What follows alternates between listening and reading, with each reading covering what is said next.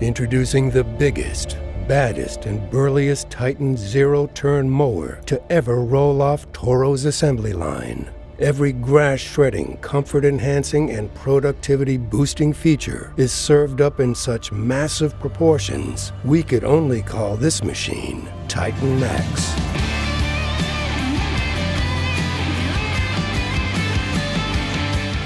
We've never built a Titan this big, bad, and powerful.